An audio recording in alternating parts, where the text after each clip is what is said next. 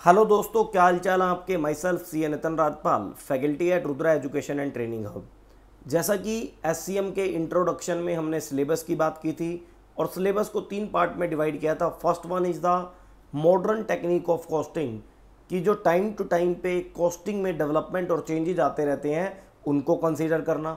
Second था decision making and existing costing technique marginal standard budget इस तरह की बातें हम करेंगे सेकंड पार्ट में। और थर्ड हमारा था दो, दोस्तों ऑपरेशन रिसर्च ऑपरेशन रिसर्च का मतलब जिसके अंदर हम स्टेटिक्स टेक्निक का यूज़ करके मैथमेटिक्स टेक्निक का यूज़ करके अपने कॉस्टिंग को मिनिमाइज करेंगे अपनी कॉस्ट को मैनेज करेंगे। तो दोस्तों आज एससीएम के फ़र्स्ट लेक्चर में हम अपना जो थर्ड पार्ट है ऑपरेशन रिसर्च वाला जिसकी छोटी सी झलक आपने ग्रुप टू के ऑपरेशन मैनेजमेंट चैप्टर में भी देख रखी है, वहाँ पर भी आपने कोर्स में देख रखी है, लेकिन ये फाइनल लेवल है, यहाँ पर हमें डिटेल में पढ़ना है। इंट्रोडक्शन में मैंने आपको चैप्टर के बारे में बताया था, assignment, transportation, linear programming, learning curve, ये सारे हमने पार्ट सी देखे थे तो एक एक करके हमें यहाँ पर दोस्तों डिटेल में आपके साथ डिस्कस करना है। आज हम जो चैप्टर आपके साथ स्टार्ट कर रहे हैं, उसका नाम है दोस्तों असाइनमेंट। लिखेंगे मेरे साथ। बहुत डिटेल में दोस्तों डिस्कस करना है कि असाइनमेंट क्या होता है, क्या इसके अंदर पढ़ना है। तो एक तो बात क्लियर है कि ये एक ऑपरेशन रिसर्च, स्टेटिक्स टेक्निक है, जिसका यूज़ करके हम अपनी कॉस्टिंग को मिनिमाइज करेंगे, कॉस्टिंग को मैनेज करेंगे, मैनेजमेंट टेक्निक का यूज़ किया जाएगा अपनी कॉस्टिंग को मिनिमाइज करने के लिए। लेकिन कब, कैसे, किस सिचुएशन में इसी बात के लिए हमें इस चैप्टर को दोस्तों पढ़ना पड़ेगा। तो आइए दोस्तों, इस असाइनमेंट टेक्निक के अंदर मैं आपको बता दूँ सबसे पहला टॉपिक क्योंकि मेरा जो पढ़ाने का तरीका है वो यही है। पहले each and every topic and concept discuss करना, फिर अपने एग्ज़ाम्पल और अपने क्वेश्चन कराना then C M A institute के स्टडी मटेरियल को कंप्लीट सॉल्व करवाना, जिससे कि बच्चे का कोई भी टॉपिक रह ना जाए और एग्ज़ाम आपका अच्छे से कंप्लीट हो। सबसे पहले दोस्तों हम यहाँ पर डिस्कस करेंगे बेसिक बेसिक का मतलब इस असाइनमेंट टेक्निक के बारे में अंडरस्टैंडिंग डेवलप करेंगे कि ये टेक्निक किस सिचुएशन में यूज़ होती है और इसका यूज़ करने से हमें क्या रिज़ल्ट मिलेगा, क्या आउटपुट होगा, उसकी बात होगी। जब ये बेसिक टॉपिक दोस्तों ख़त्म हो जाएगा तो दूसरा पॉइंट हम आपके साथ डिस्कस करेंगे दोस्तों। दूसरा पॉइंट हम आपके साथ डिस्कस करेंगे जिसका नाम होगा minimization problem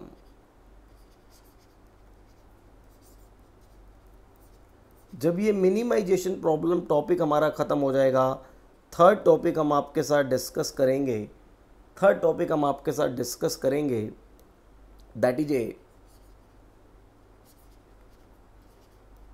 balance problem then fourth topic हम आपके साथ डिस्कस करेंगे, जिसका नाम होगा restricted cell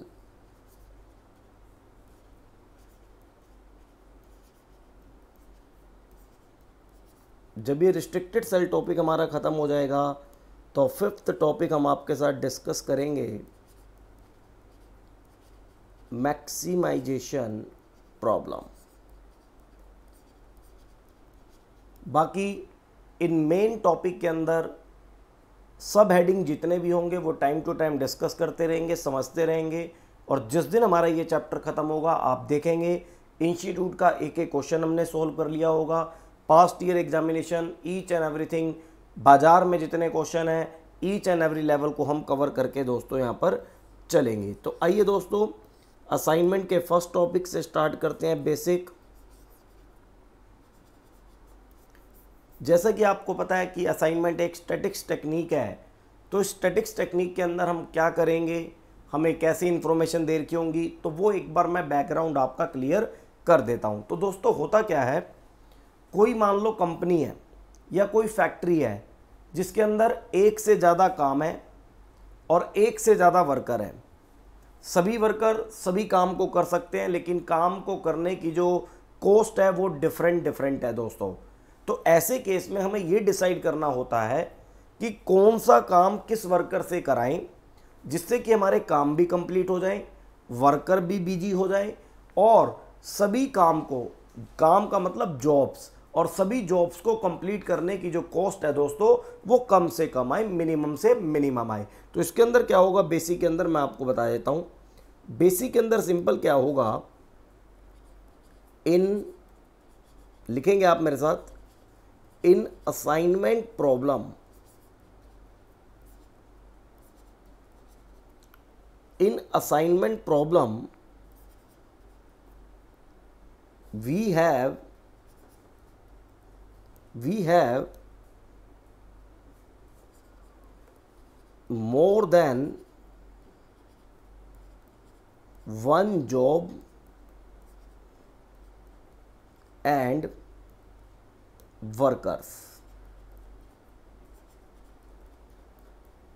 In assignment problem we have more than one jobs and workers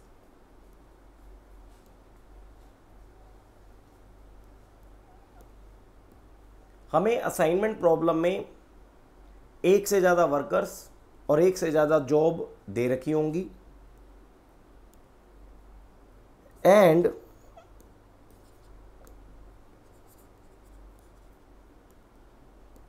the cost of job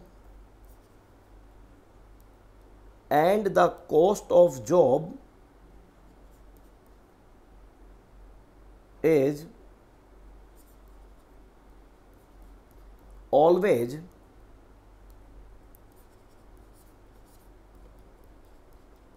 different and the cost of job is always different of all workers ये क्या मतलब है सुनो कहता है इन असाइनमेंट प्रॉब्लम हमारे पास एक से ज़्यादा जॉब होंगी, एक से ज़्यादा वर्कर्स होंगे, और जो जॉब की कॉस्ट होगी जॉब को करने की जो कॉस्ट होगी, वो हमेशा डिफरेंट होगी सभी वर्कर की। भाई, अगर मान लो सभी वर्कर की कॉस्ट काम करने की सेम है तो वहाँ पर तो डिसीज़न मेकिंग का कोई मतलब ही नहीं है ना। वर्कर की काम करने की कॉस्ट अगर डिफरेंट होगी देन हमें डिसाइड करना होगा कि कौन सा काम किस वर्कर से कराएँ जिससे कि हमारा काम भी खत्म हो जाए और टोटल कॉस्ट कम से कम आए। तो हम क्या करेंगे? देखो जी, इसके बाद मैं आपको बताता हूँ। Under assignment technique under assignment technique आराम से लिखते जाएँ। पूरा चैप्टर आराम से समझेंगे, लिखेंगे। अंडर असाइनमेंट टेक्निक जो जॉब्स होंगी jobs are allotted to workers jobs worker को अलॉट की जाएँगी in such a way in such a way so that so that the overall cost the overall cost of the overall cost of all jobs will be minimum हम इस तरीके से jobs का allocation worker के बीच में करेंगे जिससे कि हमारी जो ओवरऑल कॉस्ट है वो कम से कम आए ओवरऑल कॉस्ट कम से कम आए। अब ये कैसा होगा मैं आपको बताता हूँ। In exam question in exam question the jobs and workers the jobs and workers are given in matrix form. अब ये मैट्रिक्स क्या होती है, ये भी हमें समझना बड़े ध्यान से, देखिएगा। सर, ये जो मैट्रिक्स होती है, ये हमेशा कॉम्बिनेशन होती है रो एंड कॉलम। मैट्रिक्स हमेशा combination of row and columns, ठीक है? रो एंड कॉलम के कॉम्बिनेशन को मैट्रिक्स कहते हैं और किस तरीके से हमें प्रॉब्लम दी हुई होगी, वो मैं आपके साथ दोस्तों डिस्कस कर लेता हूँ। ये देखिएगा, जैसे रो और कॉलम से मिलके मैट्रिक्स बनने जा रही है, जैसे कि मान लो तीन रो हैं, फ़र्स्ट रो, सेकंड रो, ये हो गया रो वन, ये हो गया रो टू, जो हॉरिजेंटल है दैट इज़ ये रो है ये होगी रो थ्री और ये जो वर्टिकल है, ये कॉलम है। तीन ही कॉलम है, मान लो। C one C two C three तो रो और कॉलम से मिलकर बनती है दोस्तों मैट्रिक्स और रो और कॉलम के बाद जो बॉक्स बन के आता है बॉक्स उसे हम कहते हैं सेल और इसे डिनोट करते हैं सी वन वन इसे C one two C one three C one one का मतलब ये फ़र्स्ट रो और फ़र्स्ट कॉलम है। सी वन टू का मतलब फ़र्स्ट रो सेकंड कॉलम ऐसे सी टू वन होगा सी टू टू होगा सी टू थ्री होगा। लिखेंगे टेंशन वाले फिर सी होगा थ्री वन आप भी बताएँ।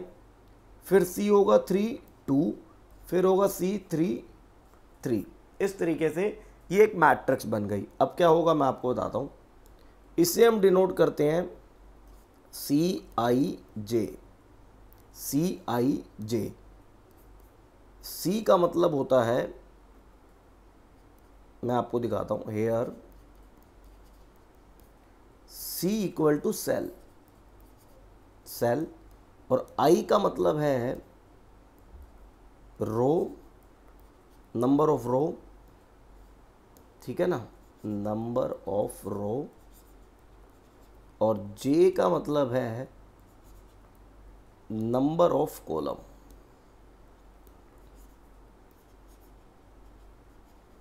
इस तरीके से आप अपने पूरी प्रॉब्लम को समझेंगे। मैट्रिक्स की फॉर्म में हमें दे रखी होगी। जैसे एक एग्जांपल से मैं अगर आपसे बात करूँ, भाई मान लो कहता है कि हमारे पास तीन जॉब्स हैं और तीन ही मान लो वर्कर हैं तो कोई दिक्कत नहीं है। मान लेते हैं वर्कर हमारे पास वन है। ये हो गया worker one worker two worker three तीन ही मान लो जॉब है। ये जॉब वन ये जॉब टू जॉब थ्री मान लो वर्कर वन कहता है कि मैं जॉब वन को पचास रुपये में कर दूँगा। कॉस्ट दे रखी है।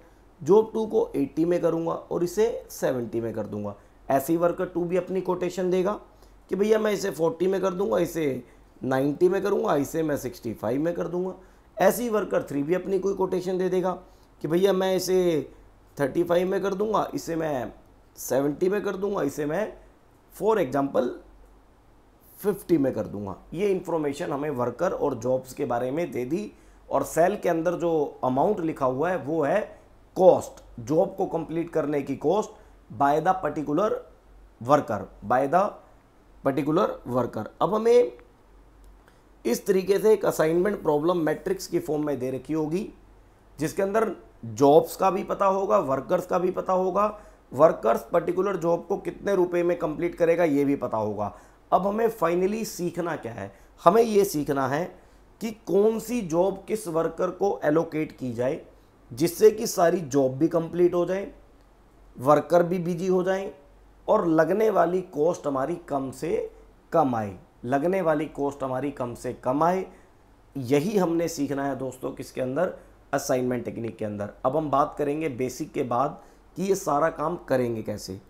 तो आइए दोस्तों बेसिक के बाद पॉइंट नंबर टू डिस्कस करते हैं, जिसका नाम है minimization problem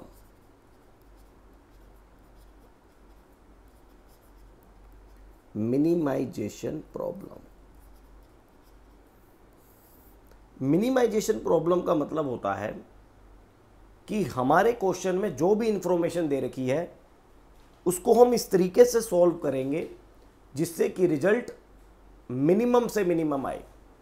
जैसे minimization problem. The objective of such problem is always is always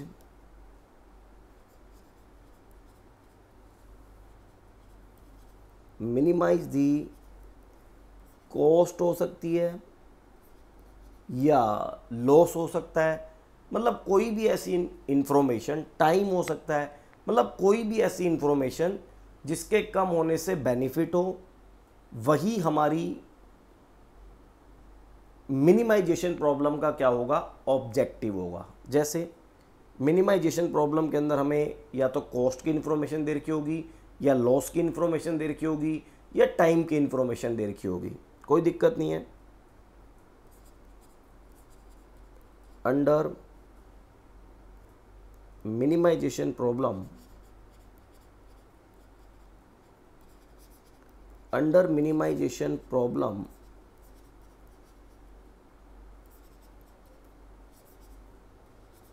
we are given, we are given cost या लॉस या फिर टाइम या ऐसी कोई अदर चीज़ जिसके मिनिमाइज करने से हमें क्या हो? बेनिफिट हो। अब बात यह आती है कि भैया, इस मिनिमाइजेशन प्रॉब्लम को सॉल्व कैसे करेंगे? कि हमें जो जॉब दे रखी है और हमें जो वर्कर दे रखे हैं, उनका एलोकेशन फाइनली कैसे करेंगे? ये हमें दोस्तों सीखना है कि फाइनल हम एलोकेशन कैसे करेंगे। तो मैं आपको बताता हूँ, देखिएगा। किसी भी मिनिमाइजेशन प्रॉब्लम को असाइनमेंट टेक्निक से सॉल्व करते समय ये बात हमेशा ध्यान रखना कि क्या क्या स्टेप फॉलो करने हैं और वो स्टेप किस सिचुएशन में फॉलो होंगे। तो मैं बताता हूँ। बहुत सिंपल सी बात है। यहाँ पर लिखेंगे steps involve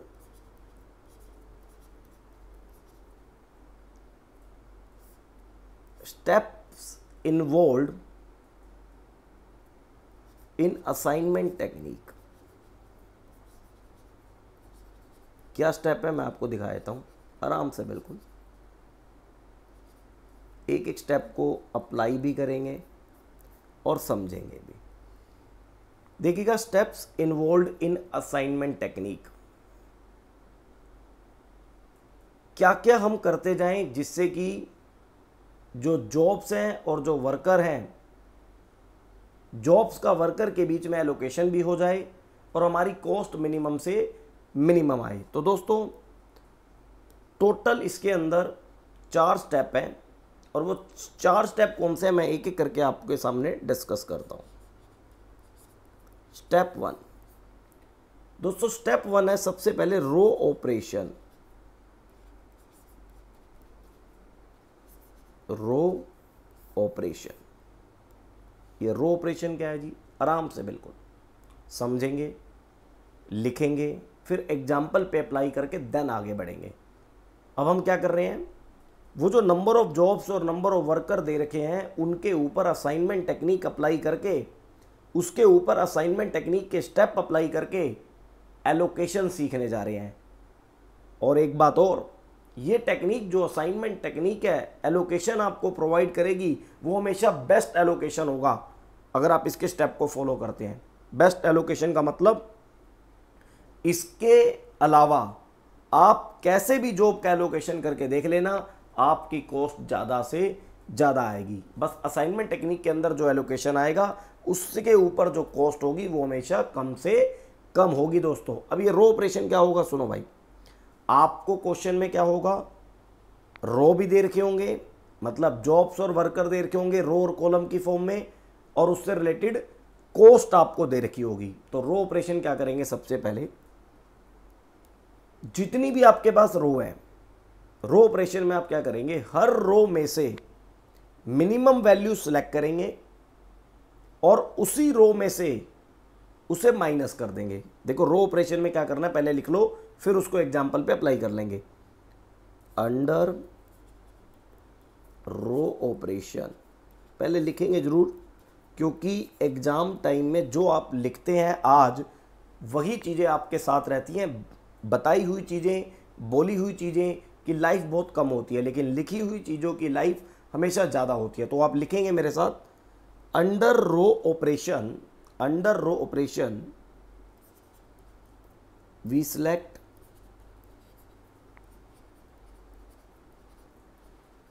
minimum value under row operation we select minimum value from each row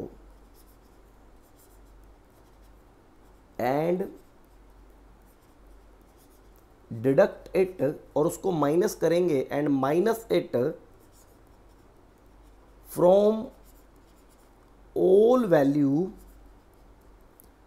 of that row one by one कैसे? अभी देखेंगे। वन बाय वन आप क्या करेंगे? हर रो में से एक मिनिमम वैल्यू उठाई और उसको माइनस कर दिया।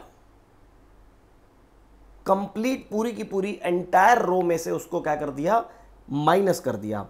और ये काम ये जो रो ऑपरेशन है,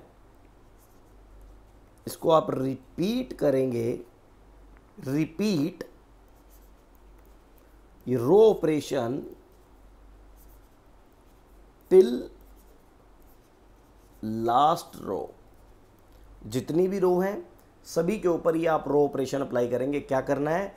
एक रो में से मिनिमम वैल्यू पिक करनी है, उसको माइनस कर देना है एंटायर रो की वैल्यू में से। आओ, एक एग्ज़ाम्पल के साथ आपको मैं समझाता हूँ और इस एग्ज़ाम्पल के ऊपर ही आपको चीज़ें भी दिखाता हूँ। एक एग्ज़ाम्पल मैं आपको नोट कराता हूँ, देखिएगा।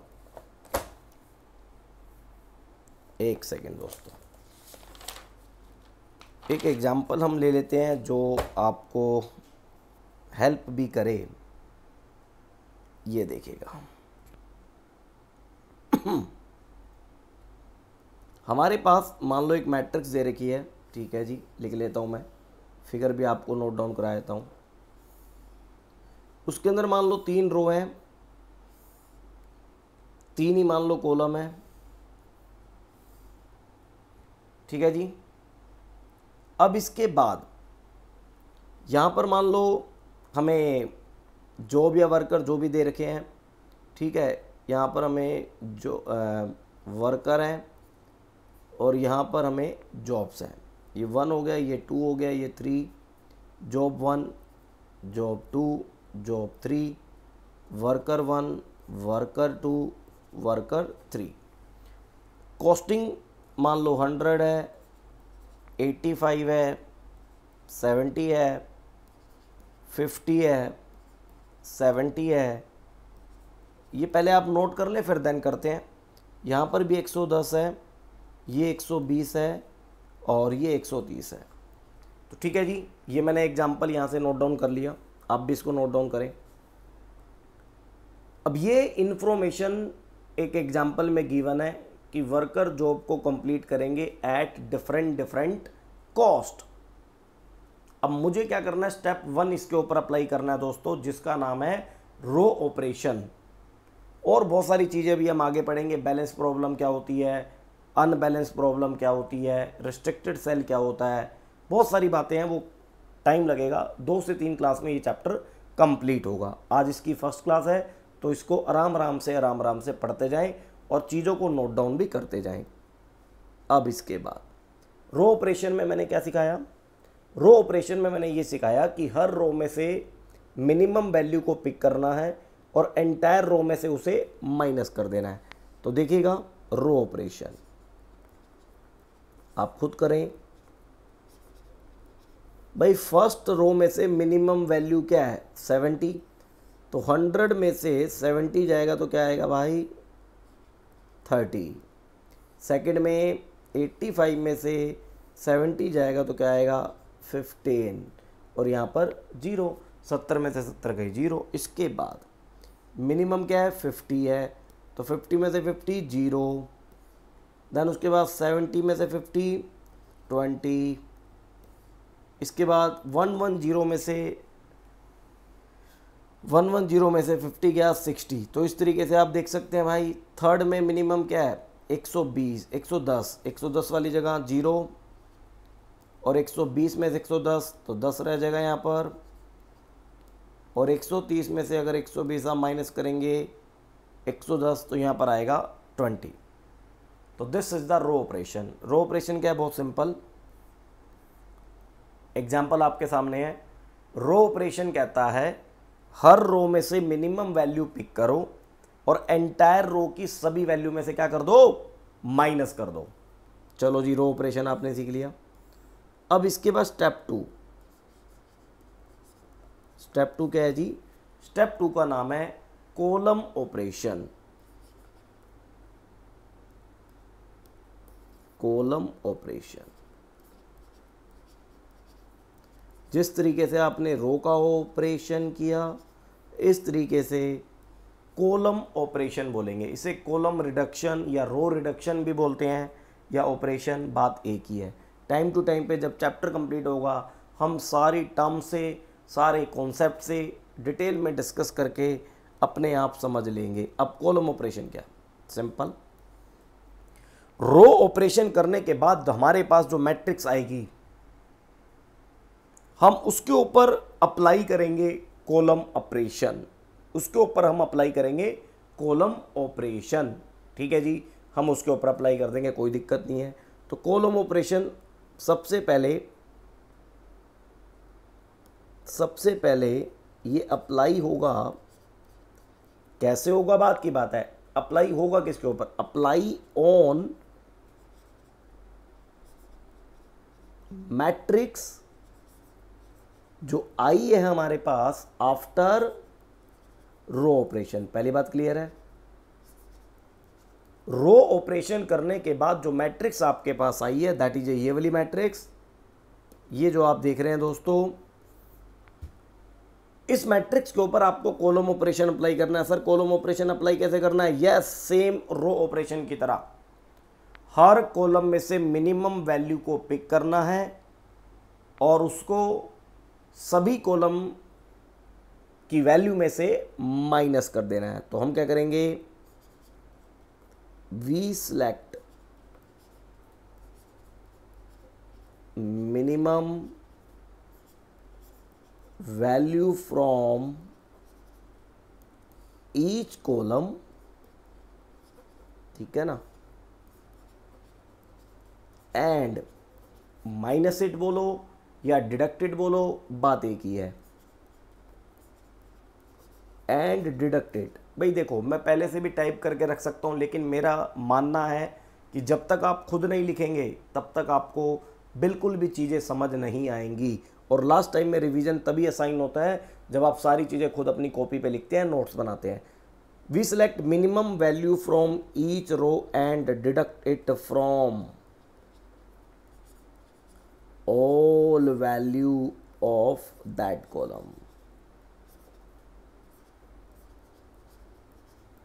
और ये काम आप तब तक करते रहेंगे जब तक लास्ट कॉलम ना आ जाए। Repeat column operation repeat column operation till last column. ठीक है जी?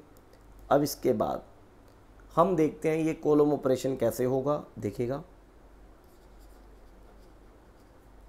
मैट्रिक्स जो मैट्रिक्स जो रो ऑपरेशन के बाद आई है, उसके ऊपर हम जलते हैं कॉलम ऑपरेशन अप्लाई करने। ये देखिएगा। ये वाली मैट्रिक्स थी हमारे पास। यस, पहला कॉलम में मिनिमम क्या है? ज़ीरो ज़ीरो को पर्टिकुलर कॉलम की सारी वैल्यू में से माइनस करेंगे रिज़ल्ट क्या होगा? सेम होगा सेम का मतलब थर्टी ज़ीरो ज़ीरो तो हम लिख दें थर्टी ज़ीरो ज़ीरो यहाँ पर भी thirty as it is zero as it is zero as it is कोई दिक्कत नहीं है। अब इसके बाद सेकंड वाले में मिनिमम है टेन मैं फिर भी आपको देख लेता हूँ। कॉलम ऑपरेशन आप मेरे साथ देखेंगे। सेकंड वाले में मिनिमम है टेन तो 15 में से 10 माइनस करें। यहाँ पर 5 आ जाएगा जी। 20 में से 10 10 आ जाएगा। यहाँ पर आ जाएगा ज़ीरो इसके बाद लास्ट में ज़ीरो में से ज़ीरो को सब में से माइनस करेंगे रिज़ल्ट सेम होगा। Zero sixty twenty zero sixty twenty zero sixty twenty ये हो गया जी। Zero sixty twenty as it is same ये हो गया जी कोलम ऑपरेशन ये क्या हो गया? कोलम ऑपरेशन कोलम ऑपरेशन का मतलब पहली बात कोलम ऑपरेशन हम अप्लाई करेंगे ऐसी मैट्रिक्स पे जो रो ऑपरेशन के बाद आएगी. करेंगे कैसे? हर कॉलम में से मिनिमम वैल्यू को पिक करना है और उसको एंटायर पर्टिकुलर कॉलम की ओल वैल्यू में से क्या कर देना है? डिडक्ट कर देना है. अब इसके बाद जो मैट्रिक्स आएगी ये है matrix after column operation that is a reduced matrix बोलते हैं। रिड्यूस्ड मैट्रिक्स चलो जी, दो स्टेप आपने सीख लिए। अब इसके बाद स्टेप थ्री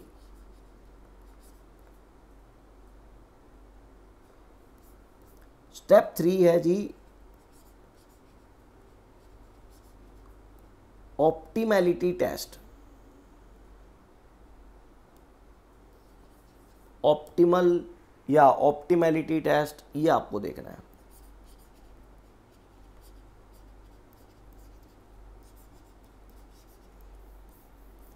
ऑप्टिमैलिटी टेस्ट का क्या मतलब है? ये आपको थोड़ा सा समझना पड़ेगा। पहले बार मैं मैट्रिक्स जो आई उसे लिख लेता हूँ, तीस पाँच ज़ीरो। तीस पाँच ज़ीरो, पहले मैं लिख लेता हूँ। ज़ीरो दस साठ, ज़ीरो दस साठ ज़ीरो ज़ीरो ट्वेंटी, ठीक है ना? Zero zero twenty. अब ये ऑप्टिमैलिटी टेस्ट क्या है? अब मेरी बात सुने। आपने रो ऑपरेशन किया, आपने कॉलम ऑपरेशन किया। अब स्टेप थ्री में हम ये चेक करेंगे कि ये जो मैट्रिक्स आफ्टर कॉलम ऑपरेशन आई है, क्या ये फाइनल असाइनमेंट करने के लिए क्या ये फाइनल जॉब का एलोकेशन करने के लिए ऑप्टिमम है भी या नहीं भी अब ऑप्टिमम हो भी सकती है ऑप्टिमम नहीं भी हो सकती। ये पता कैसे लगेगा? वो भी देखेंगे। आप ऐसे समझें कि किसी पेशेंट का डॉक्टर ने ऑपरेशन करना है, लेकिन डॉक्टर तब तक ऑपरेशन नहीं करता जब तक पेशेंट ऑपरेशन करने के लायक ना हो। भाई उसका ब्लड चेक करता है ब्लड पूरा है या नहीं है। तो दैट इज़ ए हमने इस स्टेप नंबर थ्री में क्या करना है? ऑप्टिमैलिटी टेस्ट करना है। ऑप्टिमैलिटी टेस्ट का मतलब क्या जो रो ऑपरेशन के बाद मैट्रिक्स आई है, क्या जो row operation and column operation के बाद मैट्रिक्स आई है, वो फाइनल जॉब का एलोकेशन करने के लिए फाइनल असाइनमेंट करने के लिए ऑप्टिमम है या नहीं है? अब इसका रिज़ल्ट या तो ऑप्टिमम होगा तो हम स्टेप फोर पे चले जाएँगे फाइनल असाइनमेंट और अगर ऑप्टिमम नहीं होगा तो इसे ऑप्टिमम बनाएँगे। वो कैसे बनाते हैं? वो बात की बात है। पहले आइए, हम ये सीखते हैं कि भैया ऑप्टिमैलिटी टेस्ट करते कैसे हैं। तो मेरी बात सुनेंगे बड़े ध्यान से। पहले समझ लें, सुन लें, फिर लिखवाता हूँ। सर ऑप्टिमैलिटी टेस्ट में आप क्या करेंगे? आप स्ट्रेट लाइन का यूज़ करेंगे स्ट्रेट लाइन का। वो लाइन होरिजेंटल भी हो सकती है, वो लाइन वर्टिकल भी हो सकती है। स्ट्रेट लाइन का यूज़ करेंगे, चाहे रो में या कॉलम में। स्ट्रेट लाइन का आप यूज़ करेंगे, और लाइन का यूज़ लाइन का प्रयोग इस तरीके से करेंगे जिससे कि सारी की सारी ज़ीरो मैट्रिक्स की कवर हो जाए। तो सर, इसमें तो कोई टफ चीज़ ही नहीं है। तीन लाइनें खींच दो, ज़ीरो कवर हो जाएगी। नहीं, यहाँ पर थोड़ा सा ध्यान देना है। हमको इस मैट्रिक्स के ऊपर जो स्ट्रेट लाइन यूज़ करनी है, वो इस तरीके से यूज़ करनी है कि लाइन भी कम से कम हो और ज़ीरो सारी कवर कर दे। मान लो, मैंने मिस्टर ए को कहा कि भैया, यहाँ पर मुझे लाइनें खींच के बताओ, कम से कम कितनी लाइनों में तुम सारी ज़ीरो कवर कर दोगे? लाइन या तो होरिजेंटल होगी, या वर्टिकल होगी ट्रायंगल लाइन नहीं हो सकती, तिरछी लाइन नहीं हो सकती। तो किसी ने कहा, मैं दो में कर दूँगा, किसी ने कहा, मैं तीन में कर दूँगा। तो दो वाला सही है। मतलब ऑप्टिमैलिटी टेस्ट करने के लिए आपको इस तरीके से लाइने का यूज़ करना है, प्रयोग करना है कि आपकी लाइंस भी कम से कम यूज़ हो और ज़ीरो भी सारी कवर हो जाएँ। देखो। तो सबसे पहले जहाँ पर सबसे ज़्यादा ज़ीरो है, पहले लाइन वहीं खींच दो।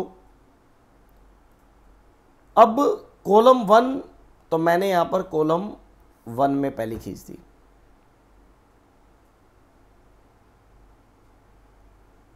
क्या कोई रास्ता है कि इस मैट्रिक्स की सारी ज़ीरो को कवर करने के लिए आप दो लाइन का प्रयोग करें? इम्पॉसिबल है। दो लाइनों में सारी ज़ीरो कवर करना बिल्कुल नामुमकिन है। आप करके देख लो। आपको किसी भी हालात में तीन लाइनें तो चाहिए होंगी। तीन लाइनों से कम यहाँ पर आप ज़ीरो को कवर नहीं कर सकते। तो मिनिमम नंबर ऑफ़ लाइन जो इस मैट्रिक्स के अंदर ज़ीरो को कवर करने के लिए चाहिए, वो कम से कम कितनी चाहिए? तीन।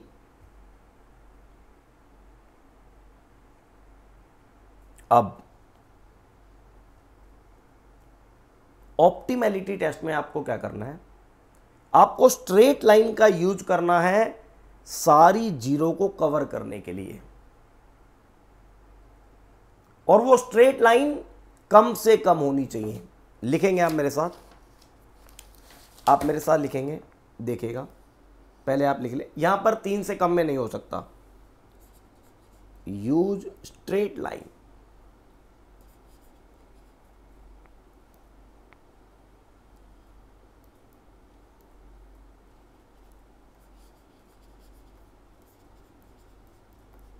use straight lines over a row या column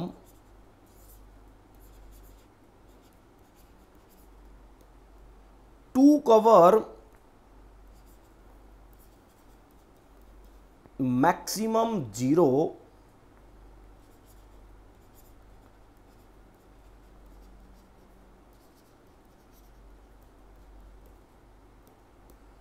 आपको बिल्कुल स्ट्रेट लाइन का यूज़ करना है, चाहे वो वर्टिकल होगी, चाहे वो हॉरिजेंटल होगी, रो के ऊपर और कॉलम के ऊपर मैक्सिमम ज़ीरो को कवर करती हुई स्ट्रेट लाइंस का यूज़ करना है। इसके बाद आपको कवर करना है ऑल जीरोस ठीक है?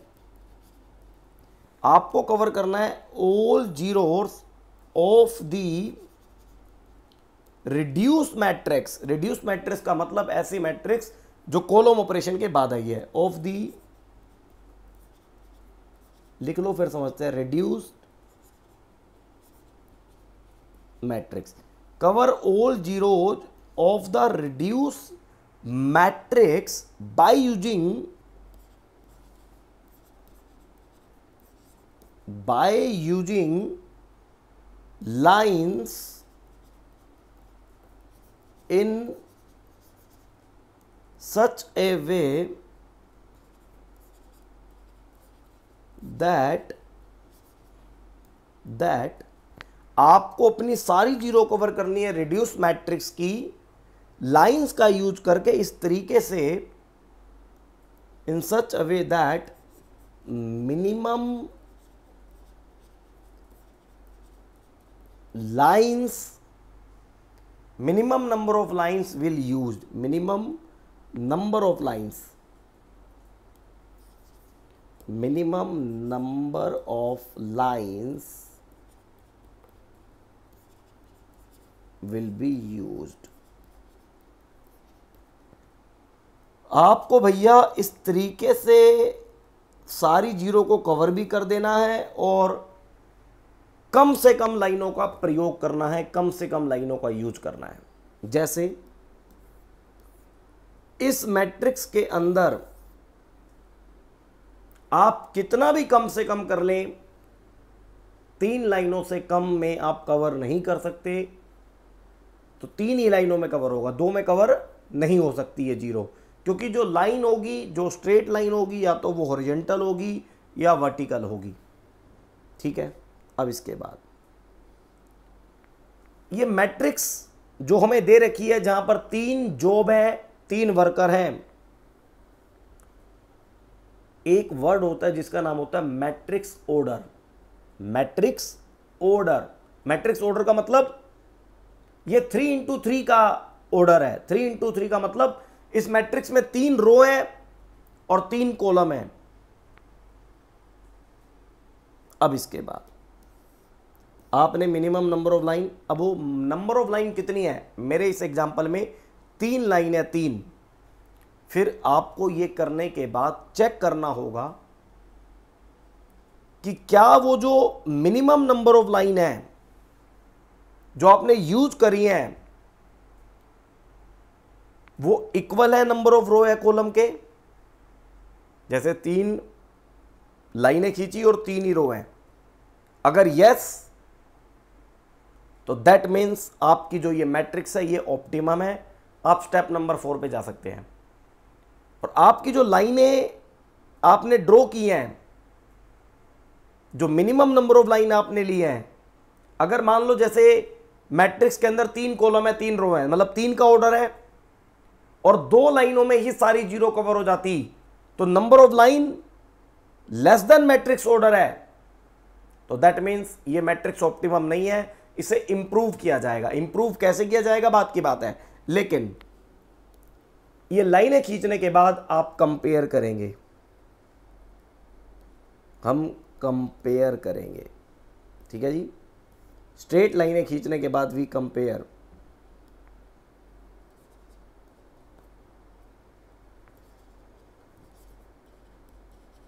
we compare number of lines with matrix order with matrix order matrix order का मतलब जहाँ पर तीन रो, तीन कॉलम है थ्री का ऑर्डर है। देखो लाइंस मैट्रिक्स के ऑर्डर से कभी ज़्यादा नहीं हो सकती। भाई सीधी सीधी भी चार खींचोगे, तब भी चार अगर रो, चार कॉलम है तो चार से ज़्यादा लाइन तो नहीं हो सकती ना। कम हो सकती हैं। We compare number of lines with matrix order number a if number of lines if number of lines are equal to matrix order अगर number of lines matrix order के बराबर है then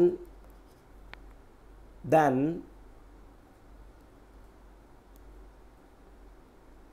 matrix then reduce matrix, जो column operation के बाद आई है।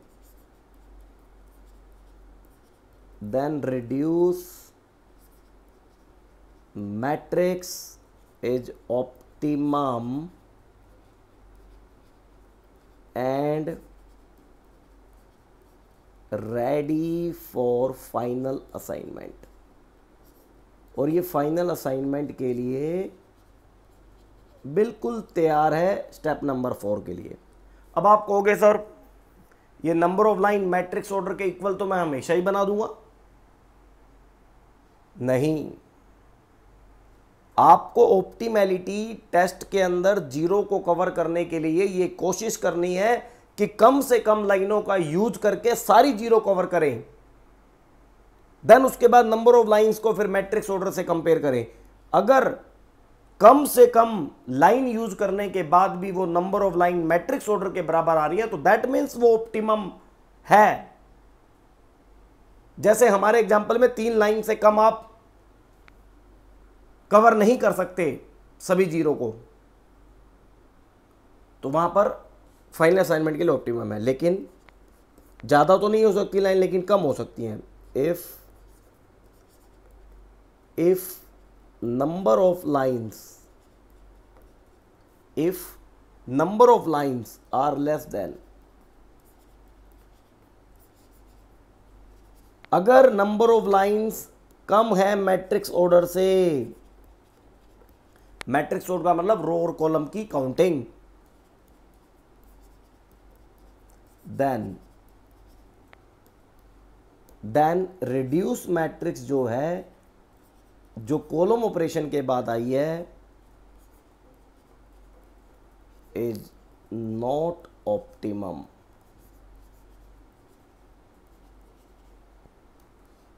is not optimum का मतलब that is improvement is required improvement will required ठीक है ना? इसका मतलब यहाँ पर इंप्रूवमेंट की ज़रूरत है। फाइनल असाइनमेंट पे जाने से पहले उसके अंदर कुछ हम चेंजेस करेंगे, कुछ इंप्रूवमेंट करेंगे, उसे फाइनल असाइनमेंट और ऑप्टिमम बनाए फाइनल असाइनमेंट के लिए रेडी करेंगे ऑप्टिमम बनाएँगे, तभी जाके हम स्टेप फोर पे जाएँगे। तो स्टेप फोर में हम तभी जाएँगे जब number of lines matrix order के बराबर होंगी और वो नंबर ऑफ़ लाइंस इस तरीके से खींची जाएँगी कि कम से कम लाइनों का प्रयोग करके सारी की सारी ज़ीरो कवर की जाएँ। जैसा कि हमारे इस एग्ज़ाम्पल में मैट्रिक्स ऑर्डर भी थ्री का है और लाइंस भी थ्री की है। अब हम चलते हैं अपने स्टेप फोर पे। अच्छा अगर ये लाइंस कम होंगी तो कैसे इंप्रूवमेंट करते हैं वो अभी पढ़ाना बाकी है। आप टेंशन ना लें। तीन क्लासें लगेंगी, ये अभी फ़र्स्ट क्लास है। स्टेप फोर स्टेप फोर आएगा फाइनल असाइनमेंट लेकिन जो मैट्रिक्स ऑप्टिमैलिटी टेस्ट में ऑप्टिमम निकल आएगी, वो स्टेप फोर फाइनल असाइनमेंट में आ जाएगी। अब फाइनल असाइनमेंट करते कैसे हैं, ये आपको समझना है। फाइनल असाइनमेंट करते कैसे हैं, ये आपको बड़े ध्यान से समझना है। तो जो भी मैट्रिक्स पहले ऑप्टिमम हुई है, उसको एच डी लिख ले भाई। क्या है जी? थर्टी ज़ीरो ज़ीरो लिख लेता हूँ मैं थर्टी ज़ीरो ज़ीरो ठीक है? इसके बाद इसके बाद जो फिगर है, उसे भी लिख लेते हैं, एक बार आप भी नोट कर लें five ten zero five ten zero okay five ten zero फिर फाइनल असाइनमेंट भी सिखाएँगे। फाइव टेन ज़ीरो के बाद zero sixty twenty zero sixty twenty zero, sixty, twenty. अब मुझे करना है जी फाइनल असाइनमेंट। अब फाइनल असाइनमेंट कैसे करते हैं? पहले मेरे बात सुन लें। आप जब फाइनल असाइनमेंट करने जाएँगे, आप स्टार्ट करेंगे रो से। Start from first row, final assignment करना शुरू करें। जैसे कि आपने पहली रो में देखा, एक ही ज़ीरो है वहाँ पर। तो आप उस पर्टिकुलर सेल पे जॉब एलोकेट कर देंगे।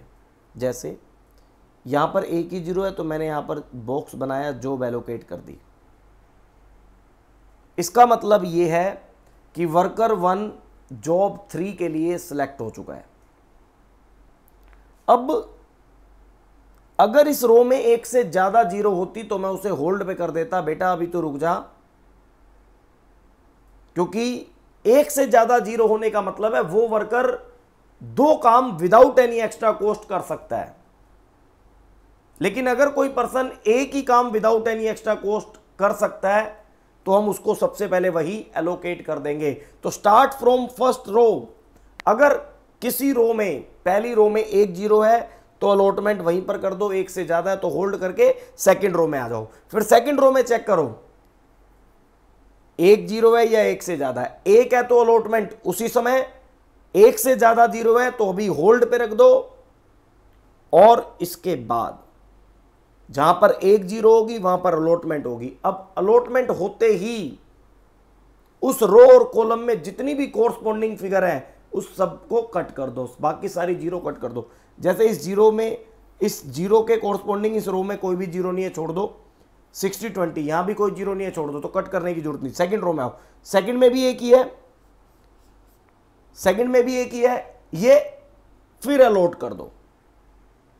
अब इसके कोरस्पॉन्डिंग ये कट हो जाएगी। यहाँ पे कुछ नहीं है।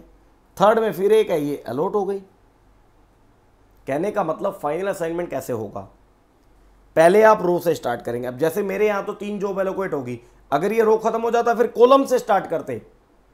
सिंपल सा एक ही तरीका है फाइनल असाइनमेंट का। रो से स्टार्ट कर लेना, चेक करना, रो में एक ज़ीरो है या एक से ज़्यादा है। एक है तो अलॉटमेंट तुरंत कर दो, एक से ज़्यादा है तो होल्ड पे डालो। लॉजिक ये है, एक से ज़्यादा ज़ीरो होने का मतलब है कि वो पर्टिकुलर वर्कर दो जॉब को विदाउट एनी एक्स्ट्रा कॉस्ट कर सकता है। यह आपको देखना है।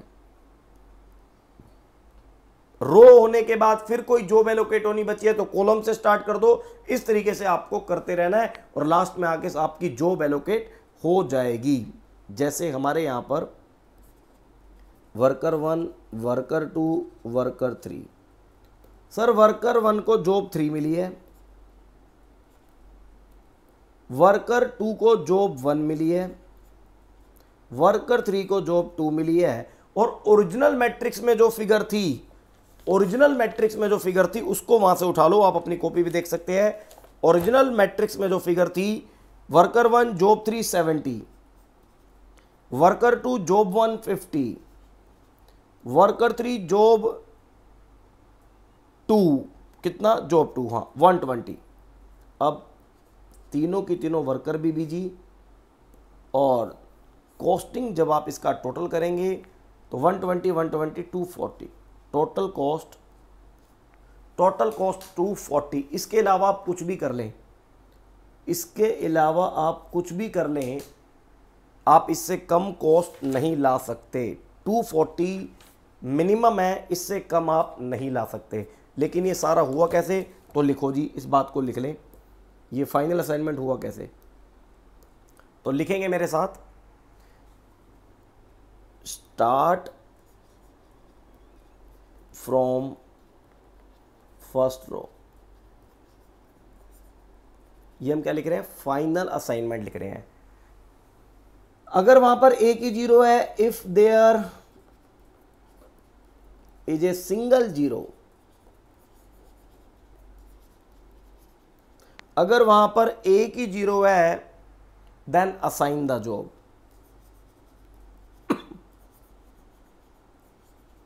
then assign the job लिखना बहुत ज़रूरी है क्योंकि लास्ट टाइम में लिखी हुई बातें ही काम आपके आएँगी।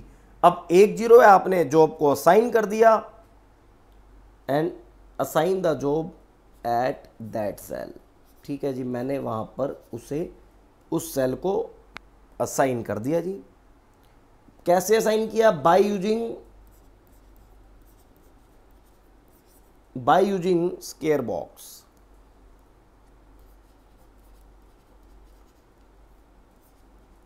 ठीक है ना? इस तरीके से आपने बनाया था अभी ऊपर। तो इस तरीके से आप उसको पर्टिकुलर सेल को जॉब क्या कर देंगे? एलोकेट कर देंगे। ठीक है जी एलोकेट कर देंगे। लेकिन अगर ज़ीरो एक से ज़्यादा है, अगर ज़ीरो एक से ज़्यादा है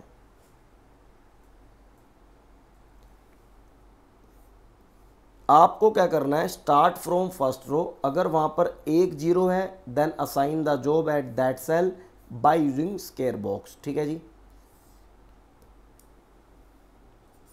एंड जितनी भी corresponding and corresponding zeros of row and column जितनी भी कोर्सपॉन्डिंग ज़ीरो होंगी, उस जॉब अलॉटमेंट के कोर्सपॉन्डिंग जितनी भी ज़ीरो होंगी, वो सारी की सारी आप कैंसिल करेंगे आर कैंसल्ड जैसे हमने करी थी सेकेंड अलॉटमेंट के बाद. लेकिन if if there are more than one zero if there are more than one zero, then hold it. तो हम उसे अभी होल्ड कर देंगे। बाद में देखा जाएगा अभी। Then hold it and move into next row और नेक्स्ट रो पे मूव कर जाएँगे ठीक है ना? और नेक्स्ट रो पे हम मूव कर जाएँगे। जब ये रो खत्म हो जाएगी then start from first column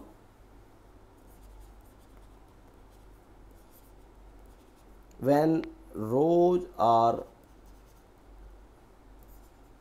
completed,